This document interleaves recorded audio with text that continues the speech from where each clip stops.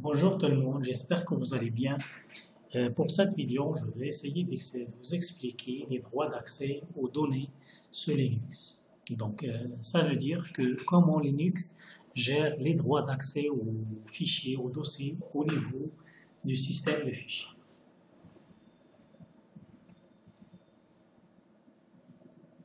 Alors, pour les droits d'accès, on a on a trois, droits euh, principaux. On a la lecture, l'écriture et l'exécution. Ok? Ça, se concerne les droits. Donc, pour ces droits-là, ils sont applicables aux fichiers,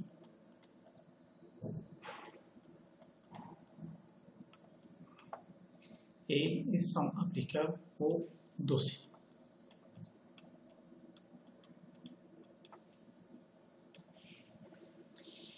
Alors, que signifie les lectures? Euh, R, c'est pour lecture, euh, W, c'est pour l'écriture et l'exécution.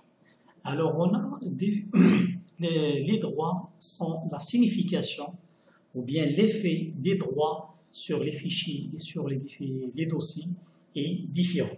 Par exemple, pour la lecture d'un fichier, ça veut dire je peux lire son contenu, je peux par exemple le lire avec un, éditeur de texte, Nano, si c'est un fichier, euh, c'est un fichier texte par exemple.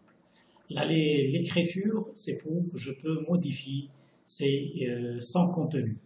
Le X, c'est pour l'exécution. Par exemple, c'est un programme, c'est un programme exécutable. Je peux si j'ai pas ce droit-là, je peux pas l'exécuter. Ok?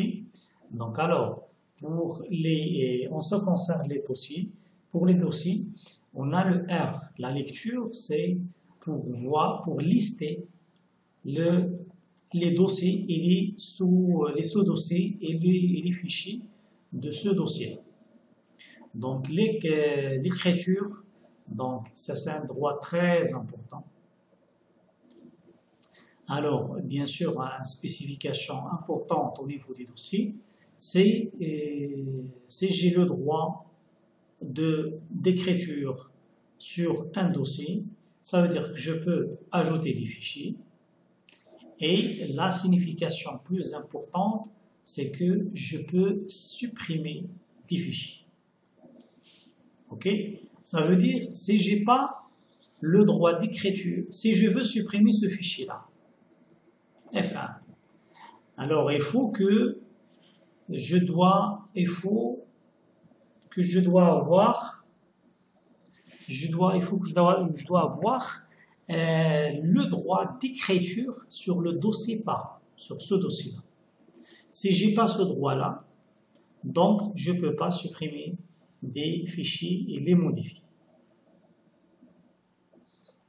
Donc le X, l'exécution pour un dossier. Bien évidemment qu'on ne peut pas exécuter un dossier.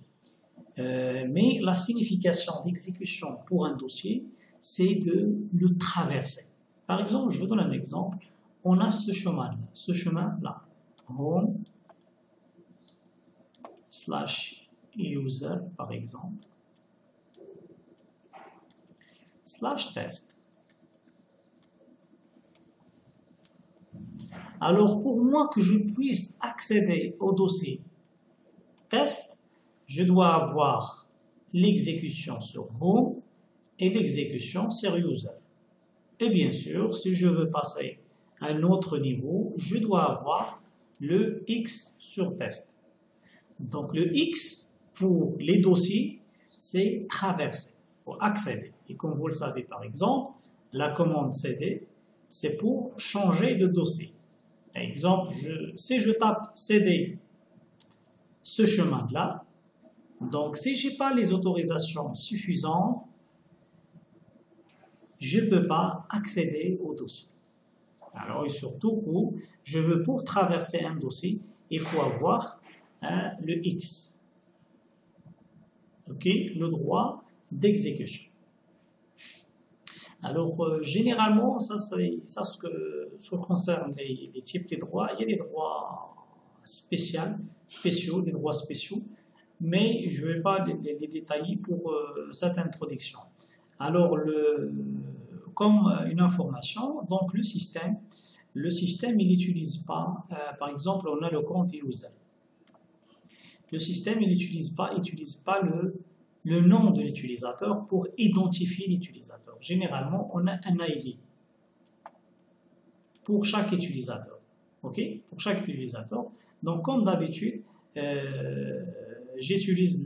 Il y a un fichier texte qui, donne les étapes pour réaliser le TP, pour faire la démonstration. Et à chaque fois que je que j'arrive à un point euh, que je dois l'expliquer, je vais détailler plus. Maintenant, on doit comprendre, c'est ça la théorie des, des droits d'accès aux données, aux fichiers, aux dossiers, au niveau, euh, au niveau de Linux. Alors maintenant, on va, on va, je vais passer au côté euh, euh, théorique, comment on va modifier ces droits-là? Alors, je vais nettoyer mon écran.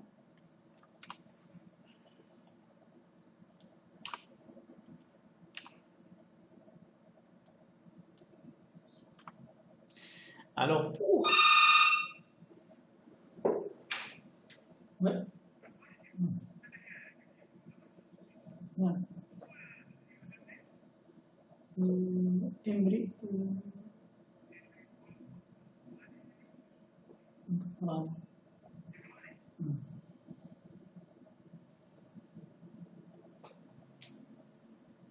La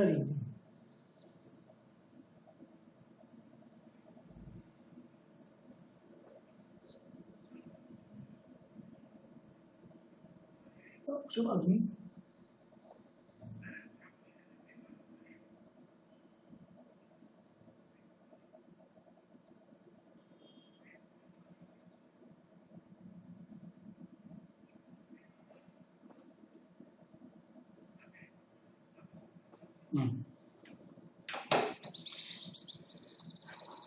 Alors donc euh, on va, expliquer comment on peut modifier euh, les droits d'accès pour un fichier, pour un dossier.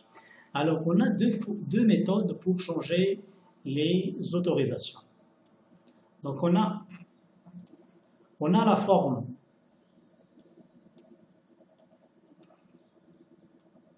la forme symbolique, se forme symbolique, et on a la forme octale.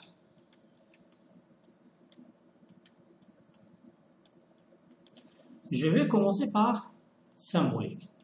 Alors, quand... ah oui, j'ai oublié une information très importante pour, le, pour les fichiers et les dossiers. On a trois, les, autorisations, on peut l'appliquer sur trois, trois types d'utilisateurs. On a le user, c'est le propriétaire, c'est celui qui a créé le fichier. On a le groupe, et on a others. Et on a les autres, tout le monde. OK? Donc, et une information, une autre information, euh, une autre information importante. Donc, on a par exemple, on a un fichier, fichier F1. OK?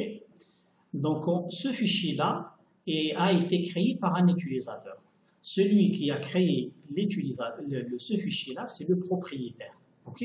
Donc, et on a les droits, on a les droits pour le propriétaire, on a les droits pour le groupe.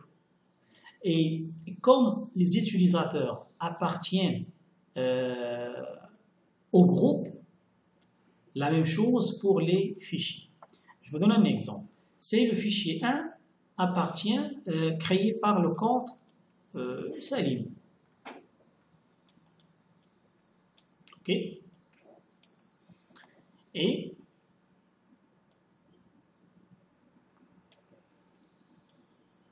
c'est bon, il est créé par euh, Salim.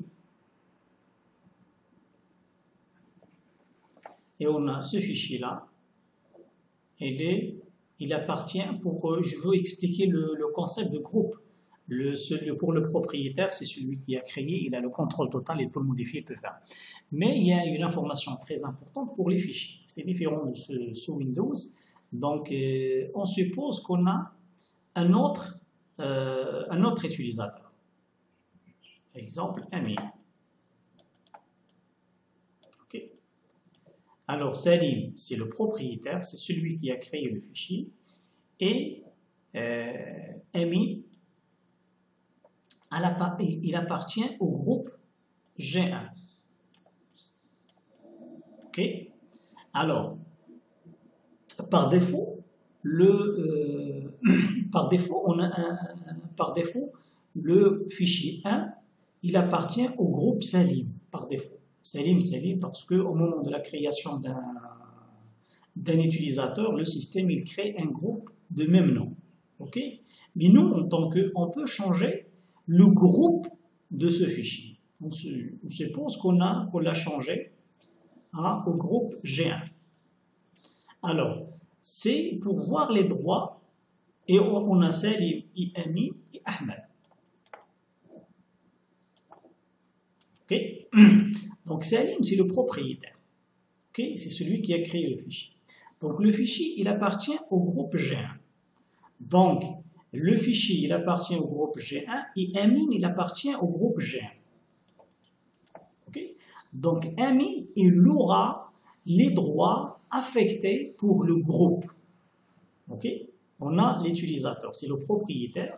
Le groupe, ok Le groupe, c'est pour le groupe de fichiers. Le fichier appartient à quel groupe?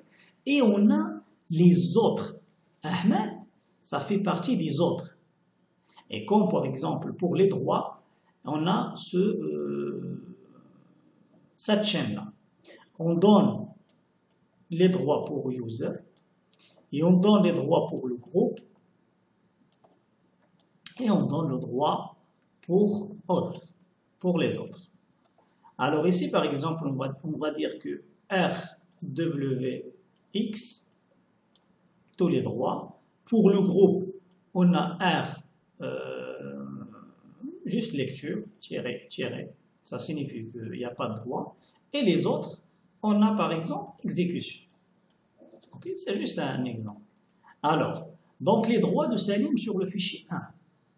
Ça, c'est un exemple pour, le, pour cet exemple. Ces droits sont pour, sont pour exemple. Salim a le droit de faire tout sur ce fichier. Il peut le lire, il peut le modifier, il peut l'exécuter, c'est un exécutable. Alors pour le... Alors, ouais, je vais utiliser ça. Donc Salim, et là c'est droit. Ok. Et on a Ami. Pour Ami,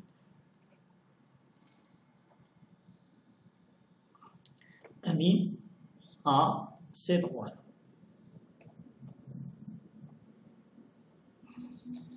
et Ahmed.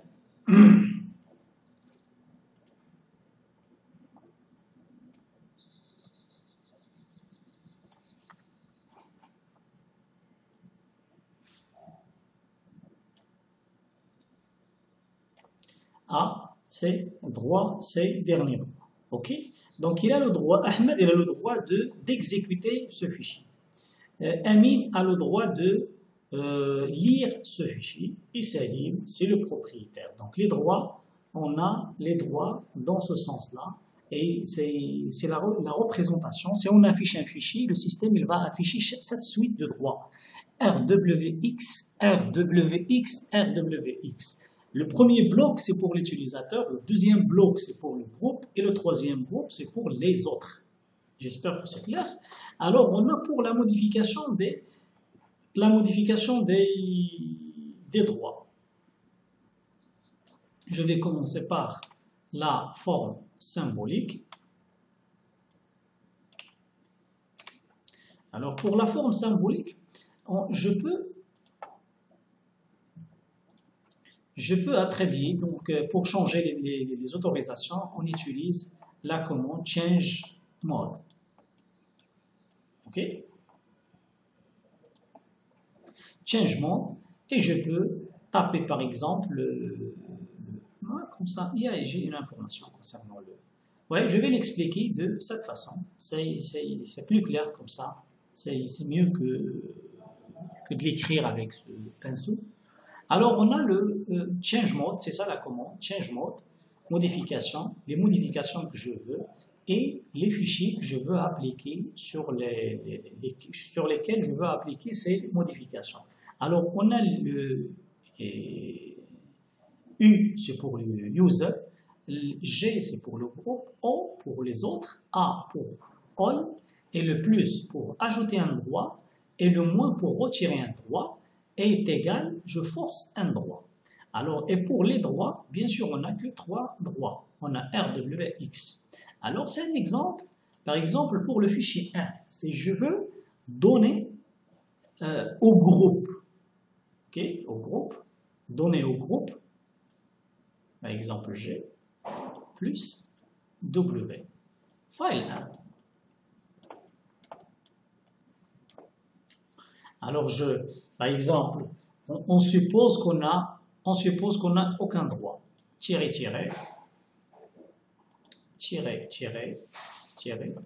Donc, on a trois droits pour ce fichier-là. C'est juste un exemple.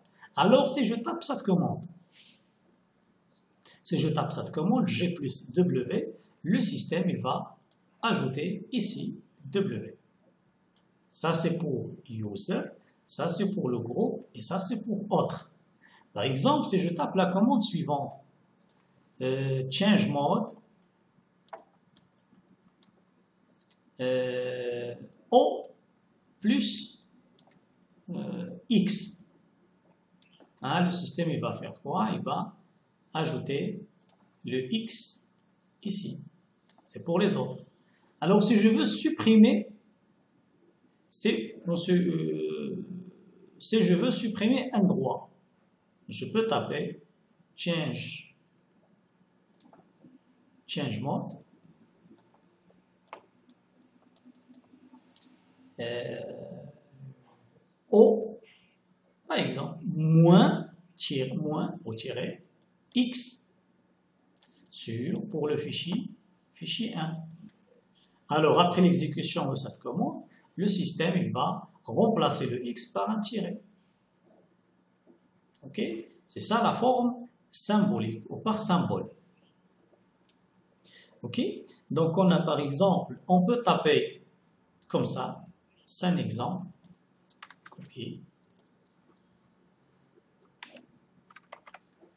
Ok? Je peux forcer, je peux donner avec égal, je peux donner pour l'utilisateur x. Mais je prends cet exemple. Je prends cet exemple et je vais l'écrire ici. On a pour les users RWX, pour le G c'est X et pour le O, les autres, euh, read write. Alors, je prends ça. On a ici. Donc, après l'exécution de cette commande, RWX, alors pour le, pour le G, on a tiré, tiré X, et pour les autres, je pense que RW tirer. OK? C'est donc je peux modifier les droits pour, euh, au niveau des fichiers et des dossiers avec cette commande et avec ces jeux, je vais utiliser, je vais utiliser là par symbole. OK? Par symbole, c'est user, etc. C'est les caractères qu'on utilise. C'est les caractères qu'on utilise. J'espère que c'est que ça soit clair. Donc ici, on a le virgule, je peux donner plusieurs droits. Pour l'user, pour le groupe, etc., je peux donner à condition que je les sépare par des virgules. ok? Et puis je peux retirer un droit avec le moins. ok? Alors pour supprimer tous les droits, ça c'est important, je peux taper par exemple change mode, order, O est égal, et je les, je laisse les droits vide et je, je, sélectionne mon fichier et le système il va remplacer les droits d'odeur par des tirés. Alors, donc, je vais passer, j'espère que c'est clair, et ça, en pratique, vous allez comprendre plus. Alors, euh, je vais nettoyer mon écran.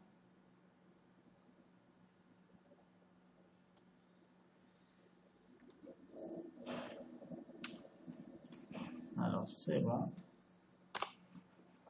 OK Alors, on a la deuxième forme. C'est la, par la base 8, ou l'octave. Alors, donc, on a, comme on a trois droits, ils ont pensé, les concepteurs de ce système Linux, bien Linux, avant, ils ont pensé à, comme on a trois droits, R, quoi ça? CTRL Z, chat, Donc on a R, W, X, comme on a trois, ils ont pensé que à la base, euh, à la base 8, donc on a, comme on a trois droits, donc on peut les, les utiliser, utiliser la forme, la base 8 pour aller de 0, 0. On a trois combinaisons. On a trois combinaisons, c'est 2 à la puissance 3, ça donne 8K, de 0, 0 jusqu'à 1, 1, 1. Ok, 0, on n'a pas il n'y a, pas, le droit. Le 1, euh, on a le droit. Alors, et ça, c'est en binaire. Ok, c'est en binaire. Alors, je vous donne un exemple. Ça, c'est 0. Et ça, c'est... Ça, c'est combien je vous, donne un exemple. Donc, on a le R. Ça, c'est 7. Alors, par exemple, si je veux donner le droit, ce droit-là, R, W, tiré. Donc, la, puissance ou la valeur de R, comme vous le voyez, on a ici. Donc le R est vous 4, c'est 2 à la puissance 2. Le W, c'est 2 à la puissance 1. Et le X, 2 à la puissance 1. OK? Donc on a ici, je peux l'utiliser, c'est ça, c'est la théorie de devient ces droits-là, mais euh, par pratique, moi, je ne rentre pas à chaque fois dans ce calcul-là. Je dis que la lecture, c'est 4, c'est en, décimal. L'écriture, c'est 2, et la lecture, l'exécution, c'est 1. OK? Est-ce que je veux, si je donne 7, 7 vaut RWX. 5 vaut R-X. OK? Euh, C'est je veux 1, par exemple 1, 1 est dans le droit, tirer, tirer, X. C'est bon 7, euh, R, W, X. Ainsi de suite. 4, 4, 4, juste la lecture. Et ainsi de suite. Alors, j'espère que c'est clair. Alors, je vais nettoyer mon écran.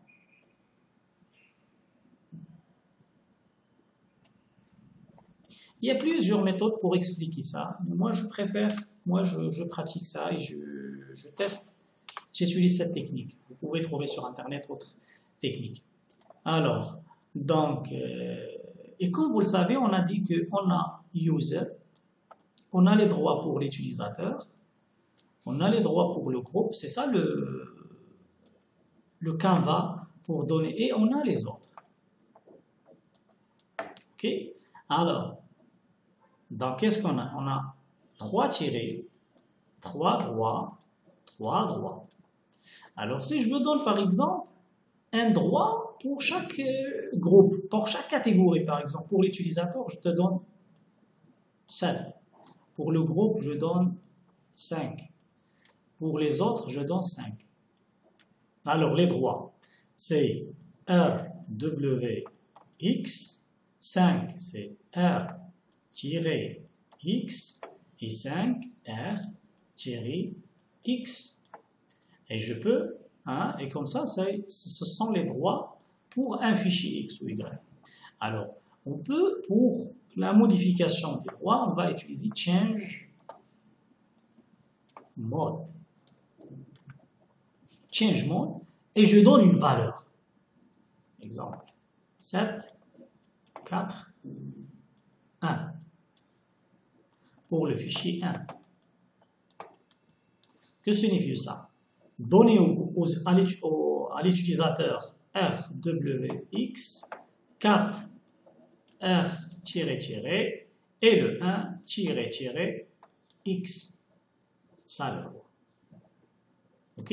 Et c'est, vous pouvez, si je veux attribuer, si je veux attribuer un droit euh, pour les trois catégories d'utilisateurs, je peux utiliser la forme euh, à base 8. C'est facile. Si je veux enlever ou ajouter un droit, je peux utiliser la, euh, la méthode par symbole. C'est plus pratique. J'espère que, que c'est clair. Que je souhaite. Alors, je vais revenir vers mon fichier texte. Je pense que ça, ce ce que je peux vous dire en ce qui concerne la partie théorique, je vais passer à la partie pratique pour voir comment ça fonctionne. Alors, euh, je préfère que ça soit à droite, ça à gauche. Alors, on a user. Ouais. ماشي لعبة بحال بحال ما انتهاش ممكن bah,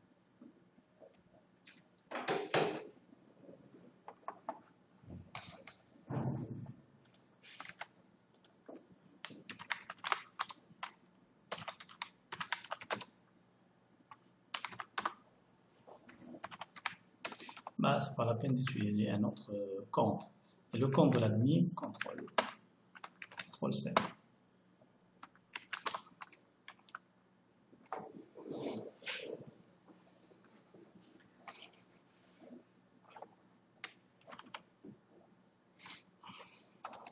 Alors, clear pour nettoyer l'écran.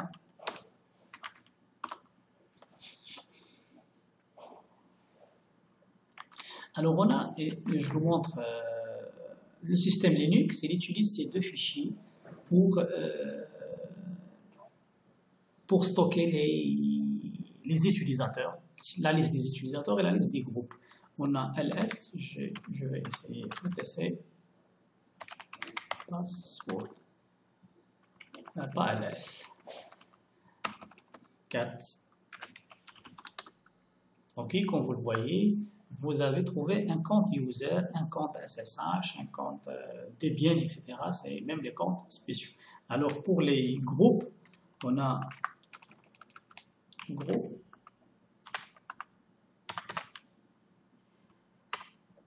On a des groupes. Donc chaque groupe, il appartient à les utilisateurs.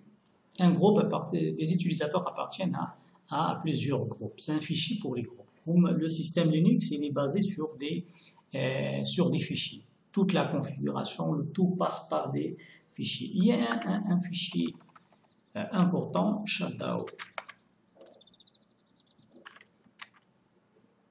Shutdown.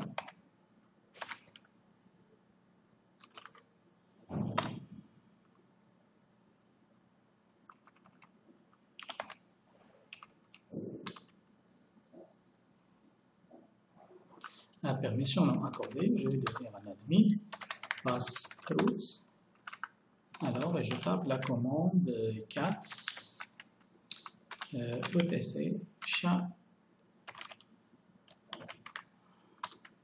Alors, c'est un fichier dans lequel on met les mots de passe cryptés. Comme vous le voyez ici, on a le compte user, il y a un mot de passe. Donc, il y a un mot de passe crypté. Donc, le système Linux, il fonctionne comme ça. Alors, c'est juste un détail. On va passer, je vais quitter la session euh, admin et je vais aller à mon fichier euh, texte.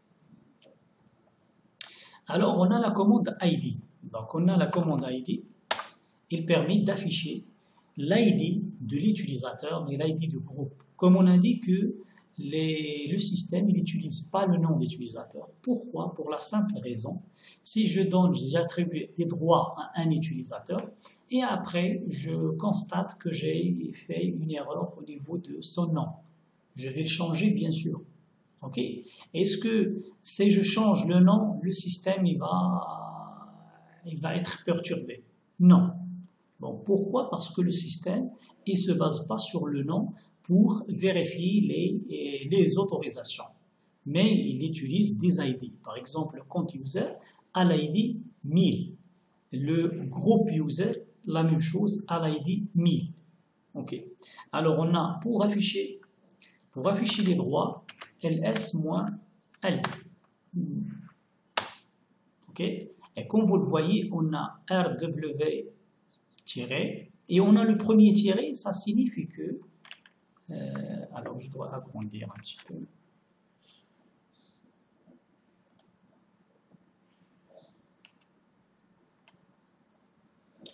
Comme vous le voyez ici, on a les fichiers. Ce sont, mais le premier tiré ici, c'est pour... Alors, je vais créer un dossier, mk, dire, euh, data. OK, ls-l, comme vous le voyez, on a au, début de la ligne, on a D. Ça signifie quoi D? Ça signifie que c'est un directory, c'est un répertoire. Et après, on a les, les, autorisations pour les trois catégories de, de comptes, pour les users, pour le groupe et pour les autres. Alors, pour euh, CLS-L pour afficher les, les autorisations, on va ajouter un deuxième utilisateur pour vérifier les autorisations entre les passwords add user. Il y a deux, deux, commandes pour ajouter des utilisateurs. On a add user et on a user add. La différence entre les deux commandes, c'est que les deux commandes, l'une il est interactif et l'autre il n'est il est pas interactif. Il va créer le compte sans donner euh, des informations concernant lim. OK. Alors, comme ça, tapez un mot de passe. je tape euh, passe. Salim. Passe. OK, le nom complet, c'est Salim. Salim, c'est un étudiant. C'est un étudiant.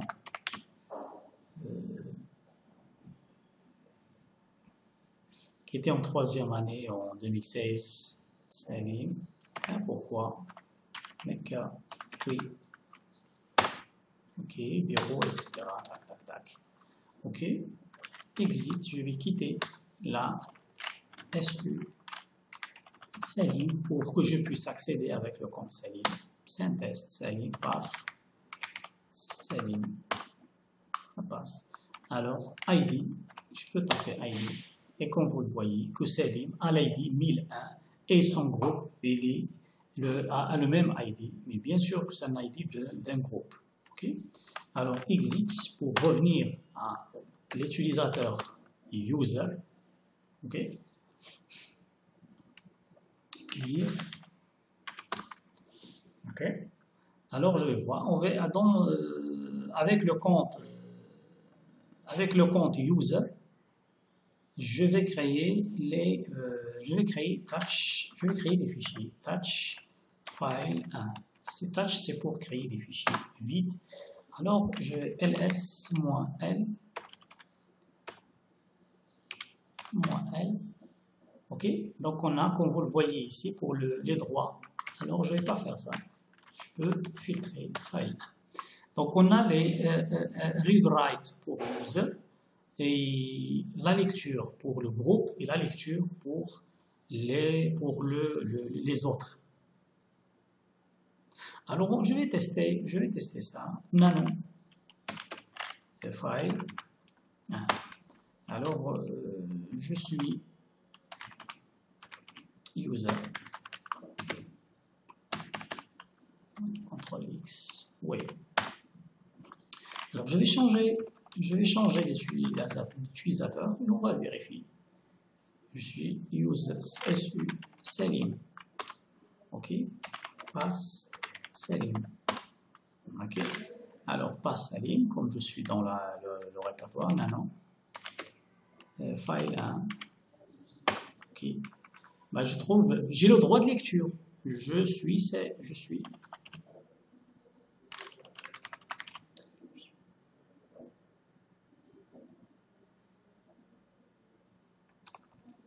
Alors, on va, c'est Salim.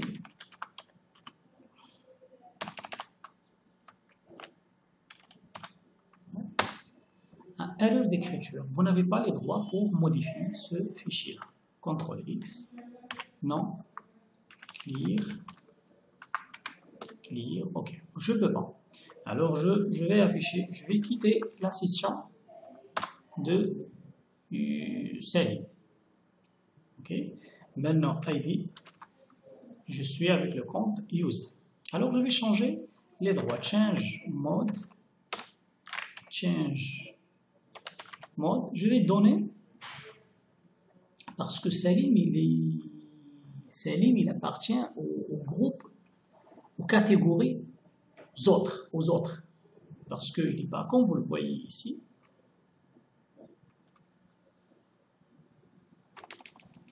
euh, ls-l, comme vous le voyez, ah oui, j'ai oublié une information importante. Donc on a le, comme vous le voyez, on a les droits, on a le 1 et on a user user. User, c'est pour le propriétaire. Le deuxième user, c'est pour le groupe user. Et pour les autres, c'est, on les précise, on ne le voit pas dans la, dans, dans l'affichage. OK? Mais parce que autre, c'est autre. C'est toujours autre. OK? Alors, maintenant pour Salim, Salim, c'est pour le, pour le fichier file 1, c'est autre. ok? Il, appartient au groupe, aux catégories autres. Alors on va changer change mode avec les autres plus write. ok? Pour quel fichier? File 1. Ok Alors ls moins l file, c'est pour juste filtrer. Je peux Ok, comme vous le voyez, on a la lecture et l'écriture pour l'utilisateur, la lecture pour le groupe, et on a la lecture et l'écriture pour le, les autres. Alors, je vais me connecter avec Salim. Salim. OK, passe Salim. OK, ID pour s'assurer que je suis Salim. Ou le système, comme vous le voyez ici, on a le système Salim at client 1. Ça veut dire que je suis, connecté avec Salim et on a user at, etc. At euh, client 1, ça signifie que je me connecte avec euh, l'utilisateur user. Alors maintenant, je vais essayer de modifier le fichier file 1, entrée, c'est Salim. Et CTRL X, oui, ça passe. 4 file. OK Comme vous voyez que Salim a pu modifier, mais à condition que moi j'ai donné le, les autorisations pour ce fichier.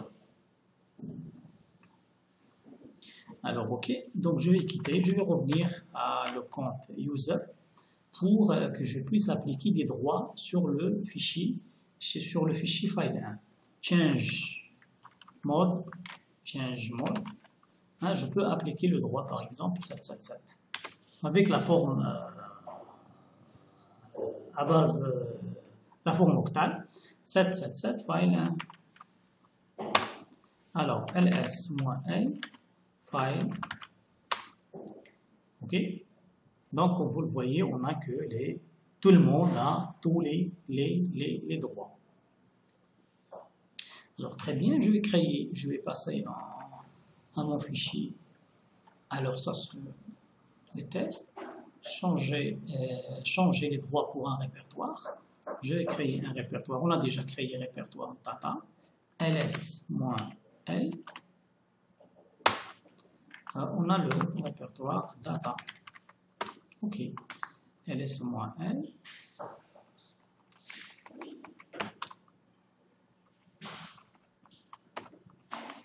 Hmm, OK, parce que c'est un dossier.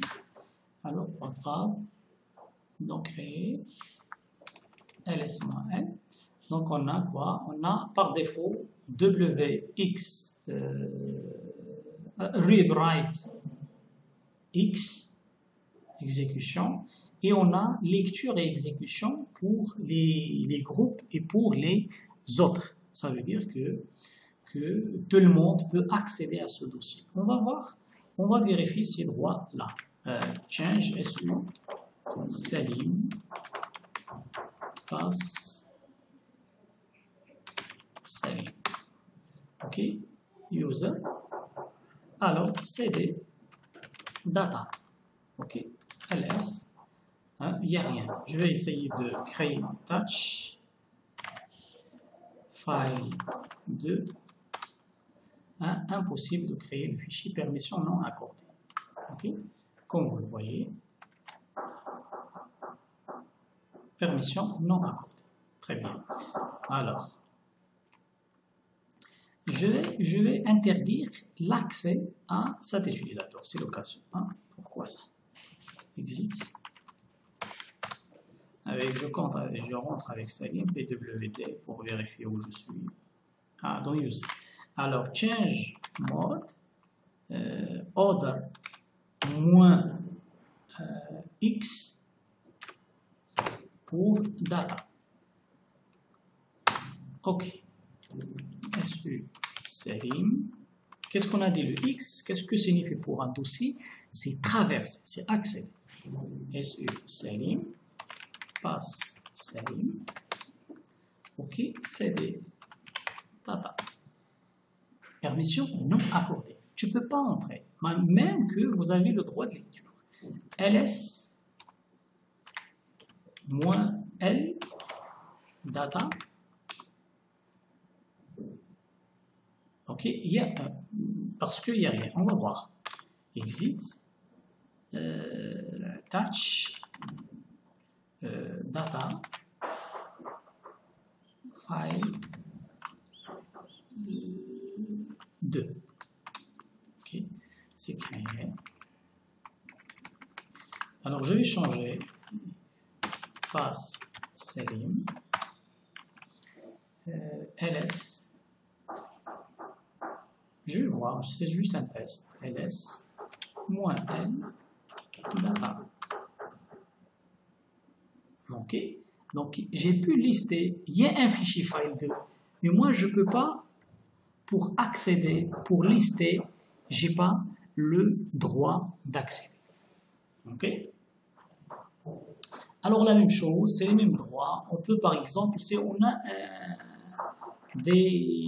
Je, si je veux appliquer, c'est important, si je veux appliquer des droits pour... Euh, ah, je suis Salim, exit. Si je veux appliquer des droits pour tout un répertoire et les, les sous-répertoires en bas, change mode, moins R majuscule, et par exemple date 7, euh, 7777 sur data. Alors, ls moins L. Donc, on a data control total. Je vais entrer dans ls je peux lister ls euh, moins l euh, data file 2. Et comme vous le voyez, data et file 2, et on a tous les droits. Je vais changer de session, Selim. Alors, passe Selim. Alors, je vais euh, nano data file 2. Ok, je peux écrire bonjour tout le monde. CTRL X, oui. Ok. Donc j'ai le j'ai le, le droit. Alors j'ai qu'est-ce qu'il y a d'autre? Donc c'est ça. Je peux utiliser la forme, c'est simple, mais il suffit que de comprendre les bases. Ok, j'ai testé la, le test avec CD, j'ai fait le test, et maintenant on va essayer de changer le propriétaire, le propriétaire, et le groupe d'un fichier. Alors, je dois quitter X. Alors, ls file 1, ok, moins L pour avoir, pour voir les détails, moins L. Ok, donc comme vous le voyez, le propriétaire, c'est le propriétaire, c'est user.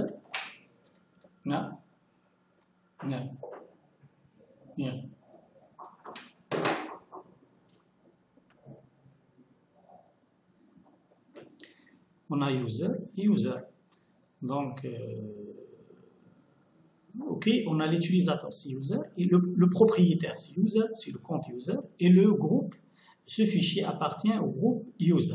Alors, je peux changer ça. Change owner, changer le propriétaire vers Salim. Ça, je pense qu'il va compléter Salim pour le fichier file 1. Ah, opération non Alors, qu'est-ce qui, peut changer le propriétaire? Ce n'est pas l'utilisateur simple, c'est l'administrateur. Alors, change. Change. Oh, Donc, on a Selim pour le fichier, fichier 1. Ça passe ls moins l pour filtrer. Alors, comme vous voyez, le propriétaire, c'est Salim, et le fichier appartient au groupe user. Alors, donc, euh, est-ce que c'est clair? Donc, on a Salim, il dit maintenant le propriétaire. Et le fichier, il reste, il appartient au groupe user. Je vais quitter la session admin. Je suis avec user. Je vais essayer de modifier ce fichier. Nano. Avec file 1. Euh, Bien, je dois vérifier. Ah oui, on a 7777, tous les trois. Alors, nano, fichier, file 1, ok.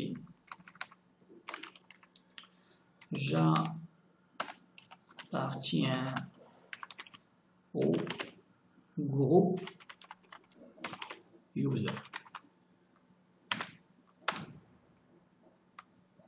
CTRL X, oui.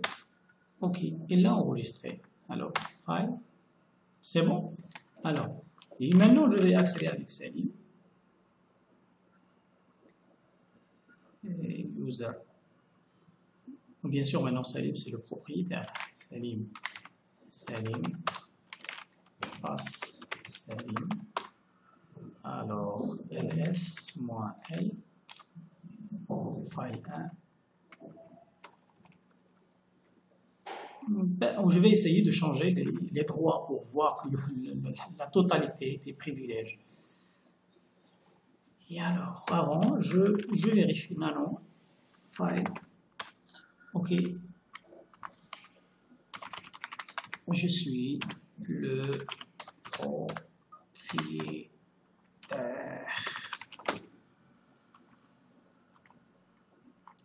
Entre parenthèses. Salim. X, ok, il peut changer. Alors comme Salim le propriétaire, il peut changer. Change mode. Change mode. 7, 0, 7, 0, par exemple, 1. Enfin, ça passe. ls- L file. Alors maintenant, Salim est bloque et bloque user. Le user qui a créé le fichier la première fois. Exit. Euh, je suis avec le compte user. Nano. File. Vous n'avez pas le droit. Permission non accordée. J'espère que... Euh, bien sûr, je peux changer le groupe. Euh, alors, on a ls moins L file, ok, x cd par x su salim euh, passe salim. Ok, je vais changer le groupe ls pour vous montrer, ls moins l. Comme vous le voyez, on a le groupe, le, propriétaire, c'est ça, le groupe de ce fichier, il est toujours user. User, c'est le groupe user, pas le compte user. Euh, file, juste pour s'assurer. Maintenant, je change, change group, groupe pour Salim, pour prendre le, la totalité des droits. Salim pour le fichier. File. OK. ls, moi, euh, file. Je peux filtrer, c'est juste un pour filtrer. Et comme vous le voyez, le propriétaire c'est Salim et le fichier appartient au groupe Salim. J'espère que, que c'était clair et que vous allez euh, profiter de cette vidéo claire. Je pense que ce sont les bases pour administrer, pour gérer les autorisations au niveau du système de fichiers pour euh, pour un système Linux. C'est la, la plupart des cas qu'on utilise, on n'utilise que, que, ça. Ok, il y a un niveau avancé, etc.